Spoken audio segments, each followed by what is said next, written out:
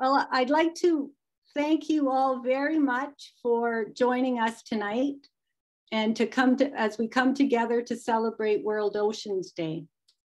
My co-host, Kelly Paddock, will be assisting me. So if you have any questions, please put them in the chat box. And as already I have lost Wi-Fi, you can see that I'm not in a very stable place. So Kelly uh, will take over for the minute or two that I am gone.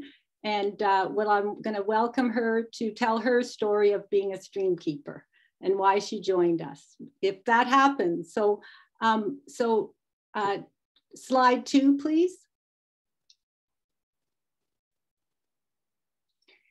I'd like to acknowledge the, with gratitude, as Holly mentioned, that we're on the unceded lands of the Sechelt and Squamish nations. And I'd also like to say that uh, I'm from the Nlaka'pamux Nation. My um, grand great grandmother was Nancy Francis Minabariette from the Cook's Ferry Band in Spences Bridge. And I have to say that uh, this last week has been quite an emotional week as uh, the residential school was is is is across the river from my territory. So my heart and best wishes go to my relatives as we deal with going forward. Slide three. So I started this, uh, this webinar asking what are stream keepers, but then I, so I'm going to say who are stream keepers to start with.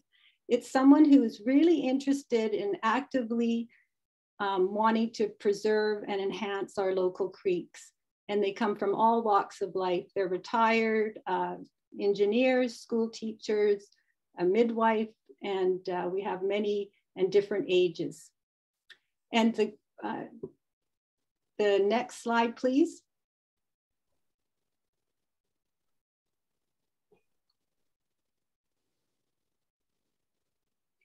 I'd like to give you just a quick brief history of how Sunshine Coast Stream Keepers came about.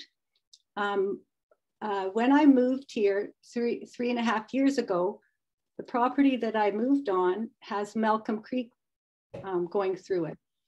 And so I started to wonder if there was salmon in this creek because my activism work in Vancouver, I went to a lot of events to do with fish farms, etc and also I'm very, very interested in, in orcas and was quite concerned about their, their, lack, their lack of food. So I started to go down to the creek a lot and I ran into neighbors and I'd always ask them uh, if they knew that there were salmon in the creek. And I met a fellow stream keeper. She's taken the stream keeper course, Anne Law, and she told me that she had seen spawners in the creek. And these are the two pictures that she sent me. So that's how it all started. And from there on, it was like, this is it. We're going to protect these fish. And the uh, motto for our group is we work to protect wild salmon and their habitat. Next slide, please. So the circle of life of, of salmon is, uh, and we can't not admit today, talk and go into what stream keepers do without acknowledging really the difficulty that that salmon are having in our, in our province. There, there are so many challenges that they have aside from climate crisis, habitat lodge, lodge loss, which now is logging because it reduces the shade, silt and dirt goes into the water and chokes out the eggs, uh, fish farms, overfishing, pollution. So they really have a lot going uh, against them, but they're also extremely resilient, they're tenacious, and they really are a gift so uh, we're going to go through this presentation and we're going to celebrate salmon and we're going to let you know what stream keepers do in helping salmon. Next slide.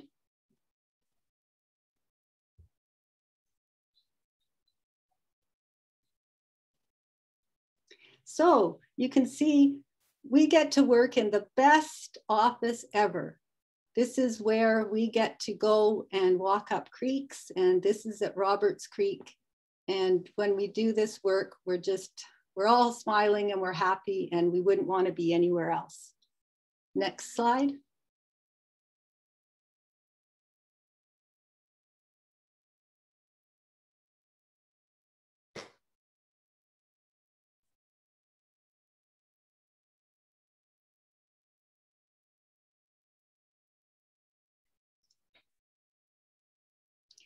We have to acknowledge uh, that we are backed and we follow the guidelines of the Pacific Stream Keepers Federation.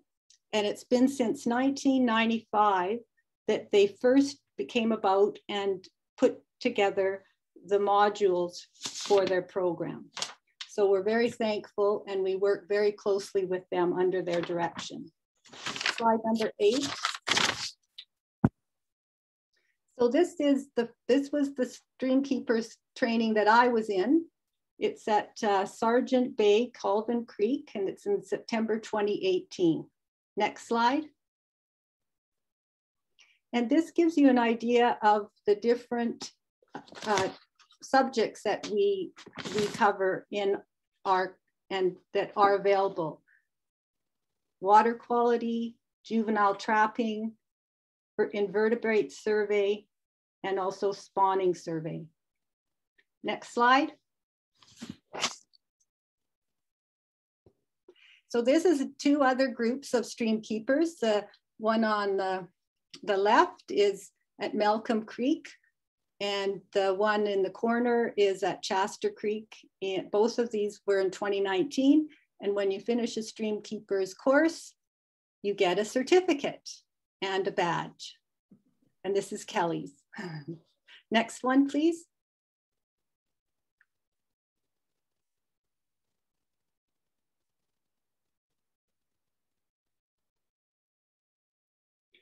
This is uh, uh, this is during the Streamkeeper course, and this is teaching us about trapping.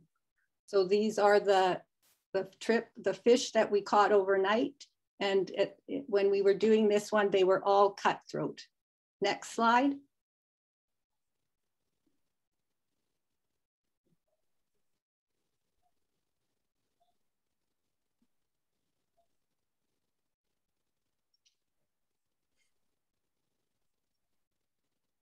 This uh, is showing the doing a bankfull measurement where we measure the, the depth of the water and also how wide the creek is.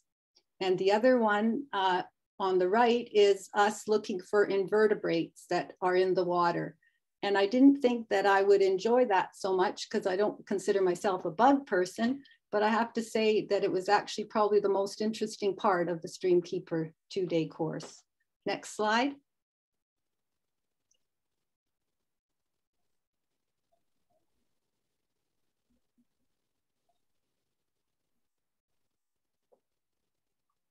This is a data sheet that we fill in and we, uh, we uh, do temperature, pH, turbidity, and uh, the water quality. And uh, each creek at the end, we do this about three or four times during the year and then every month during the summer. And each creek, you can see, I'm very happy to say that of the four creeks that we are monitoring right now, um, Malcolm, Roberts Creek, Chaster Creek, and Langdale, all of them scored in the good range. So that's excellent. And we're gonna try and keep them there. Next slide.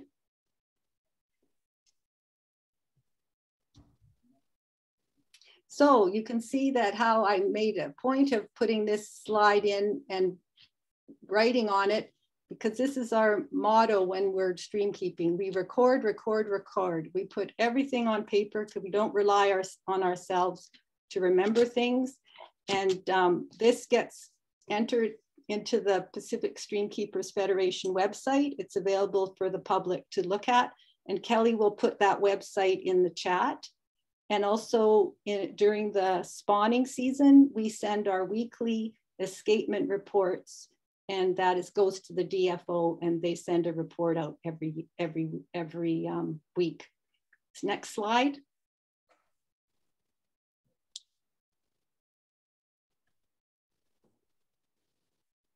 So uh, we have to look at how many creeks there are on the Sunshine Coast. I counted between uh, Port Mellon and Sargeant Bay at least 30. And right now, stream keepers are, are actively and regularly monitoring four of those. Next slide. So Langdale Creek, next slide.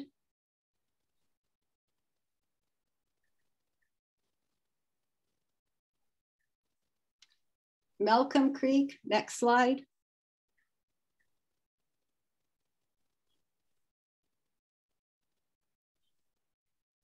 Chaster Creek, next slide.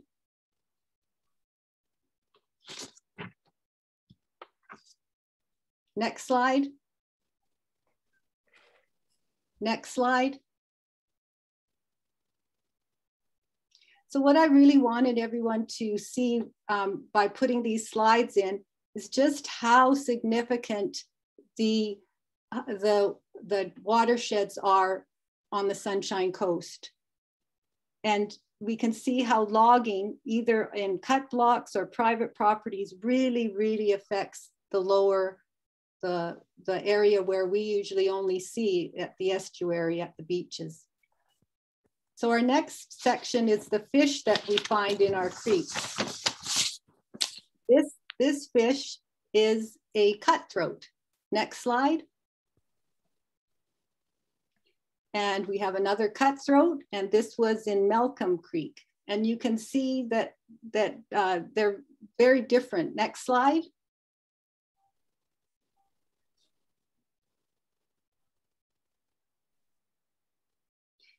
That, the, the last one was a cutthroat, and this is a cutthroat. And look how different they are. And this was at Dakota Creek. Next slide. This is a coho that we found at uh, also at Dakota Creek.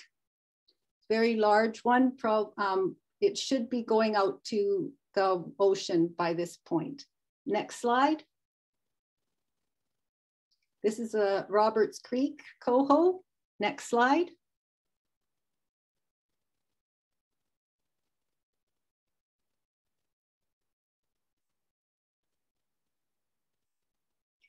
Uh, this is a sculpin, which is a very unusual fish.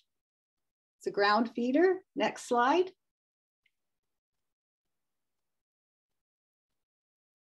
Next slide. And this is a sculpin. No, sorry, this is a stickleback, sorry, um, which was we found at the estuary of Roberts Creek. And this is a pink, pink salmon. Next slide.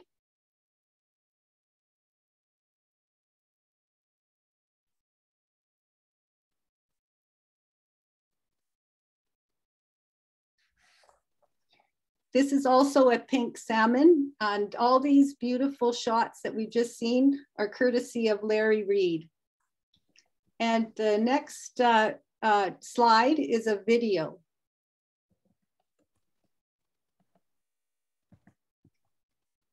And as you watch this, please just uh, sit back and enjoy being in the world of these beautiful little fry.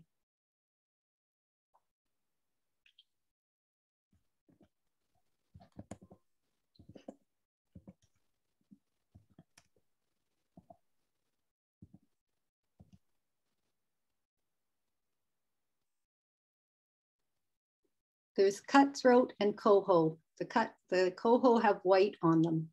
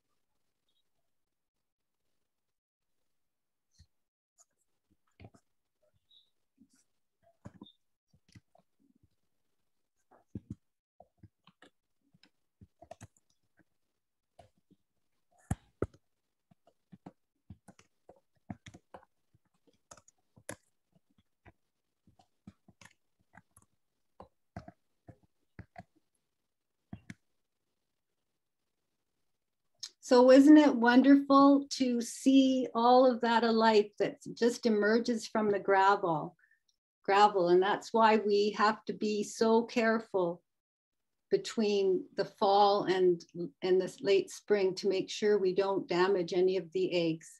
So the next section is going to be on spawning counts. And this, this is a beautiful shot of chum in Roberts Creek. Next slide. This is really interesting. We have been doing uh, salmon survey counts on four creeks. If you look at the numbers between 2019 and 2020 in Roberts Creek, you'd see a huge jump.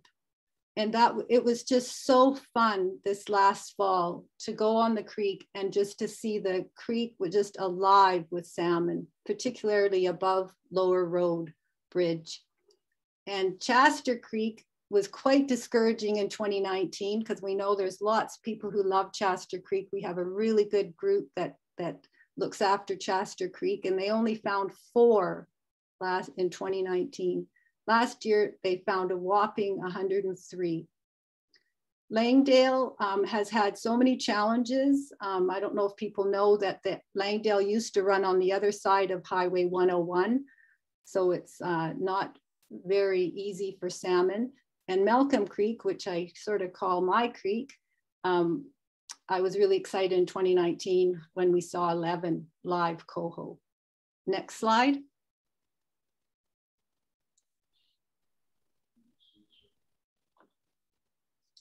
And this is um, us.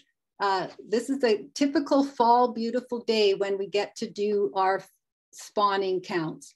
And if you notice that I'm, I have poles on in my hands, the usual protocol with stream keeping to look for in for spawning salmon and undercuts is with a pole. And, and uh, so we were doing that because there's quite a few undercuts in Roberts Creek. Next slide.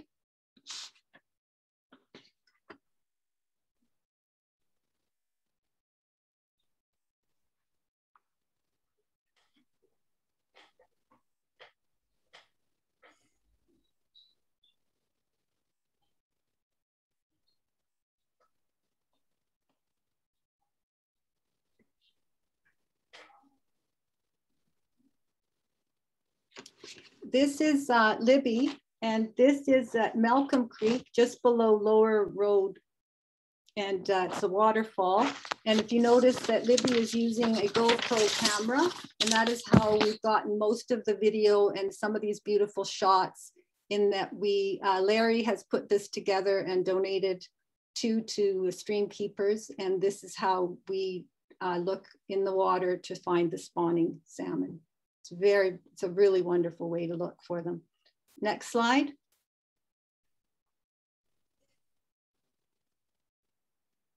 And this is Larry. He's the one that put the GoPro together. And this is at Roberts Creek above the confluence of Clack Creek and Roberts Creek. Next slide.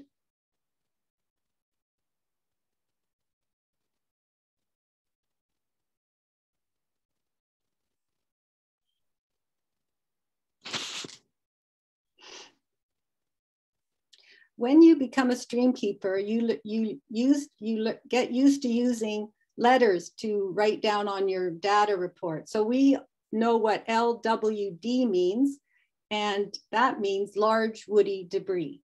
And uh, we never know what we're gonna come across when we're doing stream keeping work. This is Chaster Creek, this is Lorraine and Angela, and uh, a big tree has fallen across the creek um, which isn't a bad thing for the creek. It gives fish shade and uh, it decomposes and adds to the ecosystem.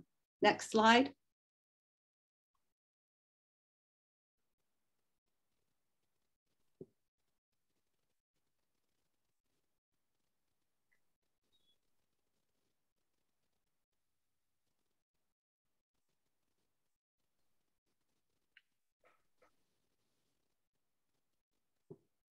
The next few uh, shots will be from Larry Reed, and these are just amazing shots. This is uh, a spawning chum. Next slide.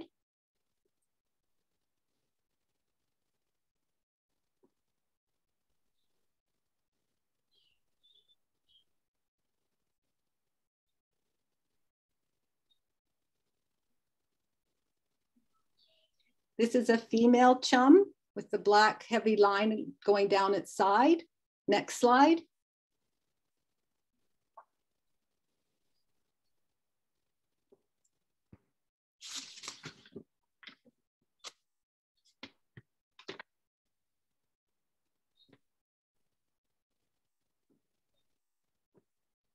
And this is a beautiful, beautiful shot of, of uh, looks like two female chum salmon.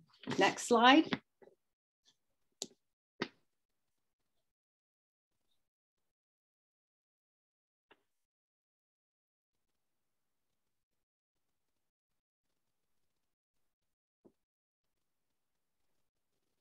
And this is a really interesting shot. At the front there, you'll see a chum which looks like it's a male, is getting the hump, uh, the hook nose and the teeth. And uh, it's hard to see, but right beside it, uh, just right up beside it, there's a, actually a coho in there, um, which is just an interesting shot. Next slide.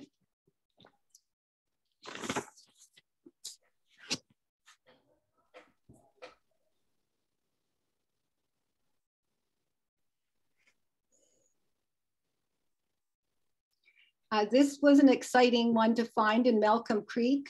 It's a coho and it was just below the culvert at Roy Road, which is quite near the beach access. And uh, uh, the culvert there is really an impediment to the coho, but we were excited to see this one. Next slide.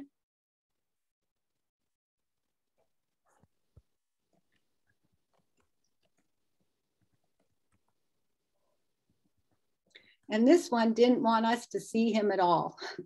This, uh, uh, this was probably one of the most exciting ones that I saw um, there was it's a coho and it's above that culvert that actually is a, is a deterrent for salmon to come through. But this, this uh, coho was tenacious and it got up through that culvert and uh, it was above.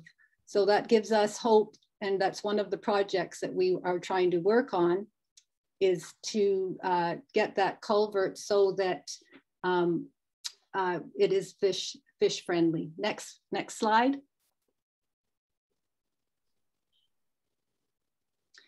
And when we uh, find uh, the, the salmon carcasses, we measure them.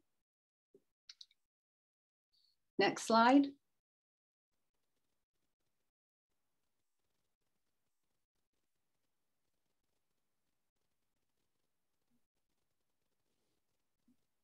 And sometimes not everyone's uh, volunteers for this job, but we dissect them to, to uh, find out how much they've spawned, whether they fully or just partly spawned. And we can tell by the percentage of eggs or milt that was left. And then we record that data. Next slide.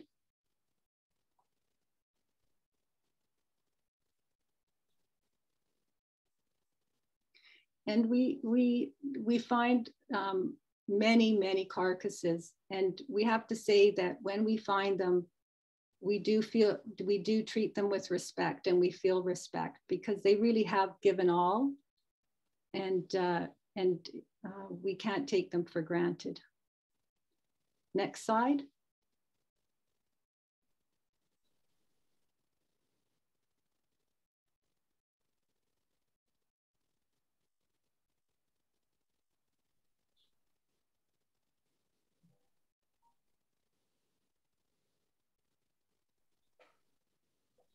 and I'm going to let you watch uh, a video uh, of, of 2014, I believe, of the pink salmon. And uh, this was the, uh, an amazing year for pink salmon that year. So please watch how they they um, they try and get to be the one that fertilizes the eggs. And actually, in this video, you'll actually see the pink spawning. I Will, and watch for the the white.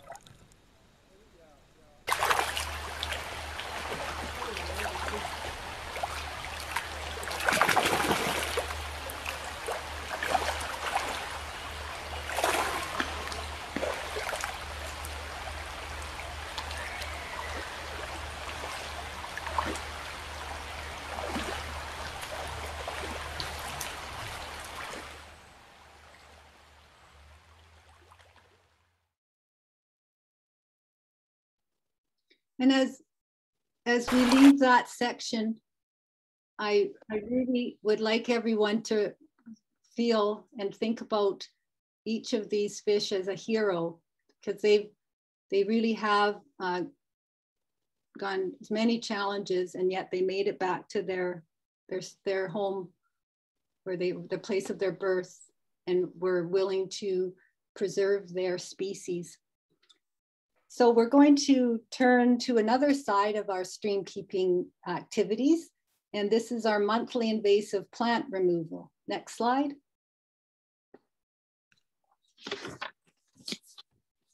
Uh, Roberts Creek, obviously, and uh, we have been doing this probably for a year and a half, the last Saturday of the month. Uh, the, the kinds of plants that we remove are English ivy, blackberry, Himalayan balsam, laurel, and knotweed.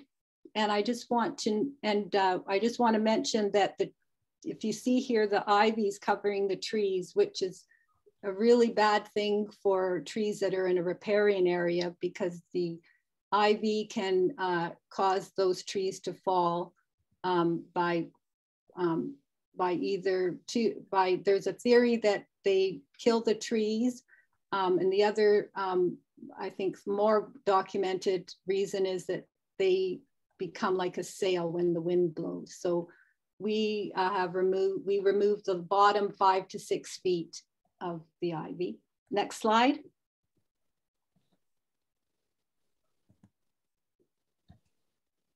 And we have so many community volunteers that they come out on a regular basis. They volunteer their vehicles to take the, uh, the ivy and laurel to the green waste. And you can just see how much we take away. It's quite amazing how a few people can really do a lot in two hours. And then I want to uh, say that we replace what we take with, uh, with native plants and we get grants from Pacific Salmon Foundation and we've just been recently approved for a grant from the SCRD for $1,200 so that we can buy some more native plants. So we're really thankful for that. Next slide.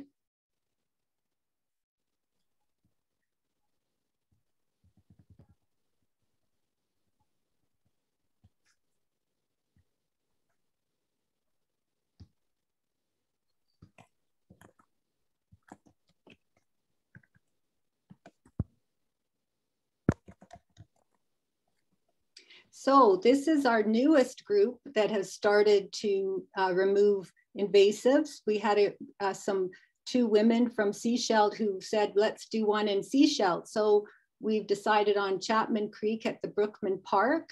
And this is their first event. And look how much they were able to take off the trees and off the ground. So, and I'd like to take a shout out to the city of Sechelt because they come on the following Monday to remove what we have taken down. So that was a huge, huge help to us.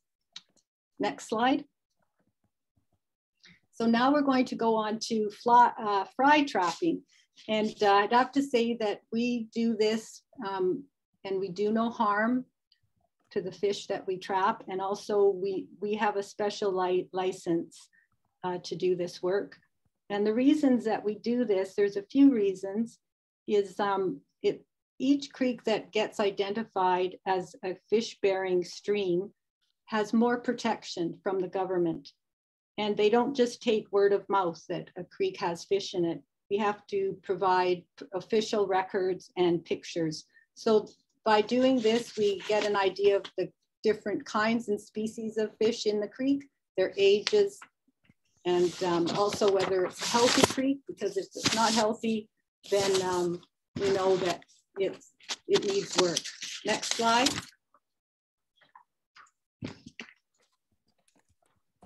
He stood by me, he spoke up for me. So this is what the traps look like. And uh, someone had, had uh, someone's not muted there. Um, so this, uh, this is uh, Anne and Jean preparing the traps and we, we uh, bait them with natural products like roe or herring. Next slide.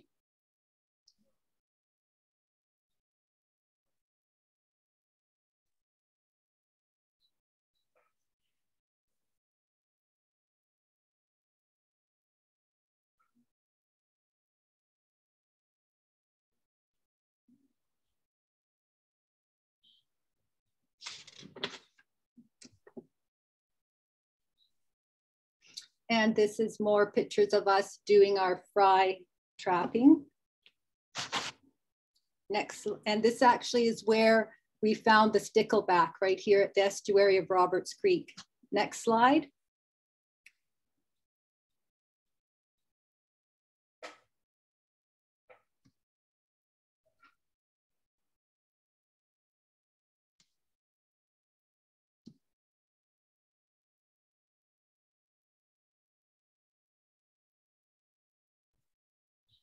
And this is Libby holding up uh, a coho. Uh, and the next slide.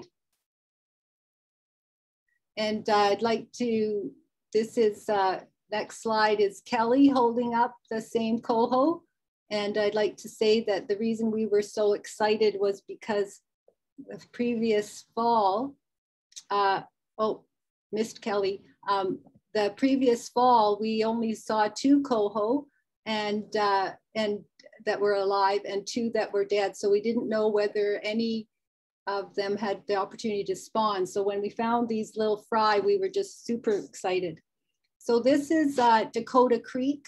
Um, this is us doing uh, fry trapping there, and you can see the different terrain of the different creeks. Next slide.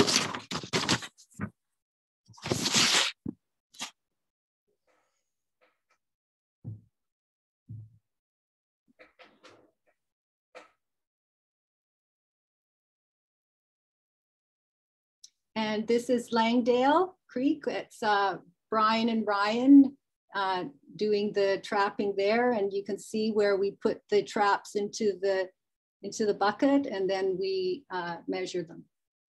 Next slide.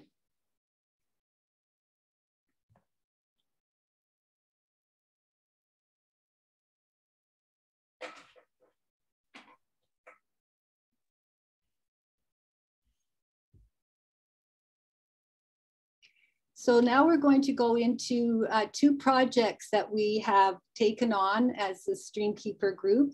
The first one we called Climate Change and Salmonid. And uh, the, the reason is because of the concern of water temperatures in the, in the creeks. Next slide. And I had to say that we couldn't have a PowerPoint presentation without one graph. So this is our graph and it shows where uh, the preferred area for the temperature of salmon. And you can see when it gets above 15, it gradually goes down and actually the mortality rate is, is super high when the temperature goes up between the 15 and 20 degrees. Next slide. So this is the history of where how we got to be have this project. Is uh, weekly uh, we have people our volunteers uh, monitor and take the temperature of a of the creek each week. And then we we recording that data. And then the DFO community advisor uh, donated six uh, temperature loggers to us which are get installed in a creek and they record the temperature every hour of every day of every week of every month and of every year. So we we ha uh, have installed those and the middle picture is just showing how we we connected up to a computer. And i was going to say that we have amazing volunteers who have many talents and we're really thankful for that. Next slide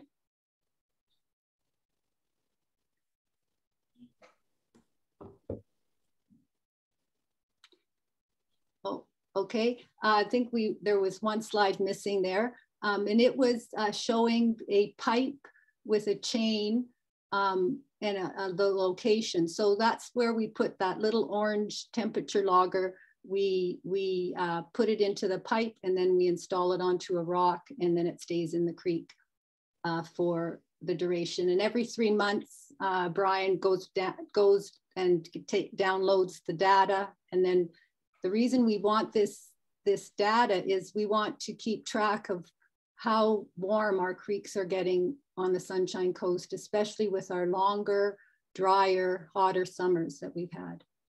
And so our next project that um, we we feel really, really uh, hits a really strong chord for, with us is protecting the riparian areas.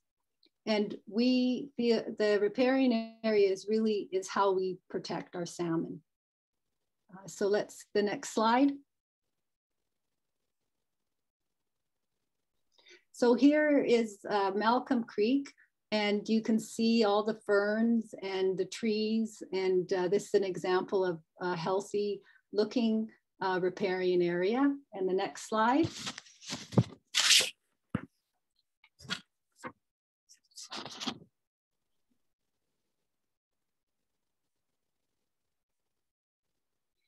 So uh, we, when in a riparian area, um, we have so many creeks in our in our on the Sunshine Coast that goes through private properties, and uh, we want to make sure that uh, we keep those riparian uh, areas healthy. And the way to do that is to make sure we have native trees because they provide critical shade to keep the water cool. They help to stabilize the banks and soil so that they don't erode. They also drop leaves and twigs that fall into the stream and they feed the uh, insects and also, and then those insects in turn uh, are prey for the salmon. And uh, we, uh, good salmon habitat is cool pools and, and riffles. And uh, so we, we want to make sure too that we have places on the creek that have shade, like uh, large woody debris, as I mentioned earlier, where the salmon can hide and find shelter. Next slide.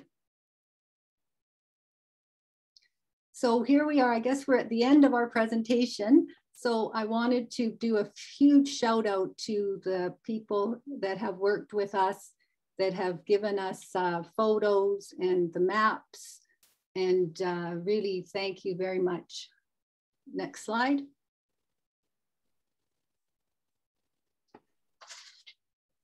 And this slide I am going to read because I don't want to miss anyone. And I really feel uh, very, very much gratitude for all the help that we've been given. Special thank you to the following. The Pacific Salmon Foundation, the Pacific Stream Keepers Federation, our DFO community advisor, the SCRD, and generous individuals from our community with personal donations. With this financial support, Stream Keepers have been able to host two-day training sessions purchase native plants to replace the invasive plants we remove, and also purchase important equipment that enables our group to continue to assess and monitor the creeks on the Sunshine Coast. And a very special thank you today for the Sunshine Coast Conservation Association for all their work in putting on this special event to celebrate World Oceans Day. Thank you all, because we know there's a lot of work behind the scenes to go that to put an event like this together. Next slide. And this is our contact information. If you have any questions, you can uh, send us an email. Uh, there's our, I think Kelly's gonna put all of this on in the chat. Um, it's our uh, website, Sunshine Coast Stream Keepers, which can keep you up to date on our events and also salmon news. Uh, we have a Facebook uh, site, which, so please like and follow us. And I just like to say a big thank you very much for everyone who attended the webinar. And if you have any questions or like to join our work in some way, even in some small way, we, we really welcome you. So thank you, everyone. Thank you so much. So that, that was so great. I, I'll just step in here to say a big, big warm thank you. It's so appreciative that you take the time this evening to do a presentation and share your knowledge and your experience and these amazing photos and videos. It was wonderful. I know I learned a lot. I'm sure everyone else did as well. Um, I'm gonna stop sharing the screen now, um, just so that we can see each other's faces if people choose to have their cameras on. And yeah, we'll open up for questions. If anyone has any comments or questions they were thinking about, if you can pop them in the chat, that would be wonderful. I think if it's okay, I'll start with a question for you. Are you okay with that? Oh, sure. Go ahead. I can't promise I'll be able to answer, but I'll try. Absolutely. Yeah. I was just wondering, um, you mentioned around one of the salmon having a partial spawn. And I was wondering, I didn't realize that salmon might only partially lay their eggs or partially fertilize eggs. And do you know why, why that might be? Well, um, from what I've, I've watched videos on this and um, females can actually have um, numerous redds, and that redds are where it's where it's called where the female lays her eggs, and then the male comes over and fertilizes them. So she can have numerous redds. So uh, some of the fish that we saw were only half, like half of the eggs were gone, or half the milt was gone. Some of them, the milt was all gone, and some of them, the eggs were all gone. So they really can um, do partial, partial pond spawning. Okay, Shirley, we have um, a question okay. um, from somebody named Leonie Croy. Thank you, Leonie. Leonie was wondering, can you speak to the pools in Langdale Creek? Did stream keepers do that? Oh, um, I, I think you're referring to the I think there's five to seven pools there that were made, um, built when the highway was put, when the highway, uh, the creek was put on the other side of the highway. And um, in my presentation, you'll, uh, you've seen the pictures of Ryan and Brian. Well, Ryan has taken on the pools and he has uh, been working really hard to help the pools um, open up the pipe so that the water can flow through um, because like for whatever reason they were left for quite a few years um, and so the water became quite stagnant. So right now our uh, he's work we're working at trying to get salmon coming back up there again. This last year he found i don't know five or six chum. So uh, but to this point the only fish we've found in those ponds has been uh, native cutthroat so, um, but we are working on on those ponds and pools. Thank thank you for knowing about them. We, I didn't know. Not very many people know that they actually are there.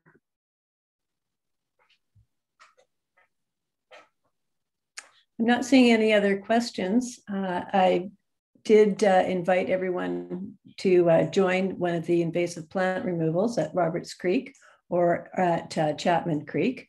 And I put the um, the dates and the times uh, to meet for those events. So anyone is welcome to join, and uh, the more the merrier. And it's a real good way to get out, visit the creeks, meet us a little bit, and um, and do some really good work.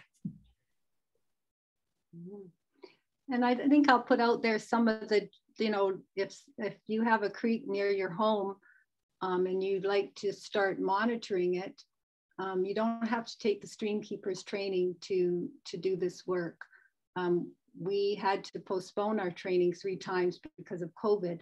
So um, quite a few of our stream keepers haven't done the training yet, but one of the jo jobs that we would love to have done is um, on, if there's a creek near your home, is to just do a weekly temperature on that creek that would be really, really good information for us to have. And uh, there's, you know, there's lots of different jobs that uh, we have that uh, we'd love people to join us. And so we throw that out there for everyone to come and join us and and uh, participate because it's really fun. We have a lot of fun together. So, Shirley, if I wanted to um, take on a little that's near my place and do a weekly temperature check, I could just take my digital meat thermometer down to the creek and, uh, once a week, and and then I would send it to the um, Sunshine Coast Stream Keepers Gmail account. Is that what I would do? Uh, what you would do is um, you would send it at the end of the month to Brian um, because he is everyone at the end of the month sends their information to him and then he makes charts for it and then sends it out to us so that we can see um, and what we did as an interesting um, check is because we had already installed these temperature loggers in the creek, we um, we took that data and and overlaid it with the, the data of our volunteers that had taken the weekly temperatures and they were spot on. So that was really interesting. And I do want to stress too, the reason that we want people to be, you know, go to the creeks once a week to do the temperature is we really need eyes on the creek. We need people to um, see what changes could be happening. Um, my personal experience with that was um, the, I think the first fall that I moved here and I went down to the mouth of Malcolm Creek. And uh, and uh, someone had thrown all of their uh, green waste into the creek and it had all come down to the end and and eventually uh, dammed the the creek so that if there were any spawners that wanted to come up they couldn't.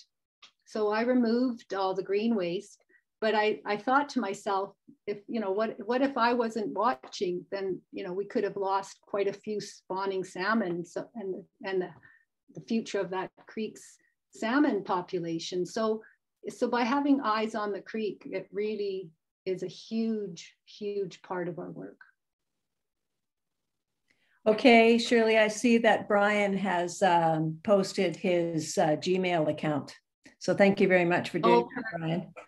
And so, yeah, if you uh, want to be a citizen scientist and be uh, someone monitoring your own local creek, you can have a Gmail account that you can send to. And if you have lost that, you can always contact Shirley at Streamkeepers uh, Gmail account, which has been posted, but I will repost it right now. And it's quite an easy one to remember. It's just sc streamkeepers at gmail.com. So it, but it's good to, and so we would, if we think about all the creeks that are on the Sunshine Coast, if we could find our goal, I didn't mention this, but one of the original goals of when we started um, Stream Keepers was we wanted to, um, we want to have every creek on the Sunshine Coast be have stewards for it. And I didn't mention also that we became a society so that our volunteers could uh, have be insured. We have volunteer insurance. And also we became a society because we need we needed to apply for grants.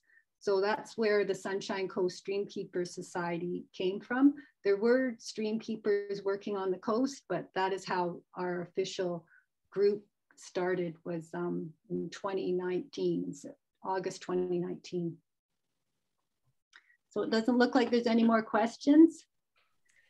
So no, there's no we'll more questions. Oh. I just want to say, Shirley, uh, a big thank you from all of us, oh. um, because honestly, if it wasn't for you, this uh, society wouldn't oh. have formed.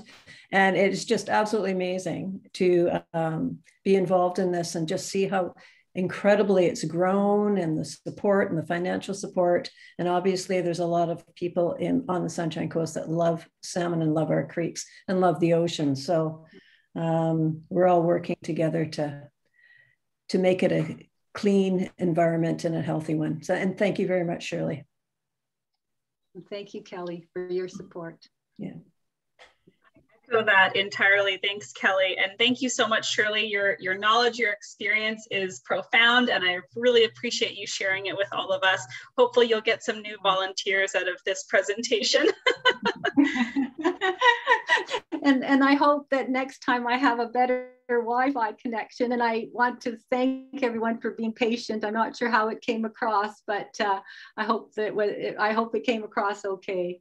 So thank you everyone yeah, again for great. It was it was wonderful. Yeah, we were definitely able to hear hear the message loud and clear, which was great. And if anyone does want to rewatch this or any of the other webinars, as I mentioned earlier, they will be on the um, SCCA YouTube channel. Um, I'm also going to put a little a little plug in here for the SCCA because we are able to offer this um, this film festival completely free for anyone who's wanting to tune in. And it would be wonderful if you've enjoyed the films, if you've enjoyed the webinars, to consider giving us a donation to support our conservation initiatives or becoming a, um, an annual member. Um, all of that is greatly appreciated. Um, I will also say that there are um, the films as a part of our film festival. There's a few that I wanted to just make a note of that might be ones you want to see and, and learn more about after seeing this presentation. Um, we kind of have a whole set of them that are in this Stream Keepers slash restoration um, theme. So there's an urban salmon documentary, which is one of the short films. Um, and there's a Mosquito Creek salmon habitat restoration. There's a beach restoration project short film and another short called Blue Carbon. So please go and check those out if you have not already.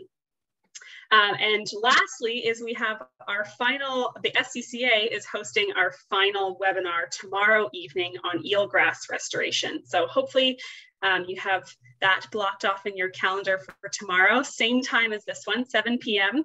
Um, and you'll get the link in the morning in your inbox. So we look forward to seeing you tomorrow. And until then, we will see you later. Thank you so much, Shirley and Kelly. Have a good night, everyone. Good night. Good night, everyone. Bye-bye.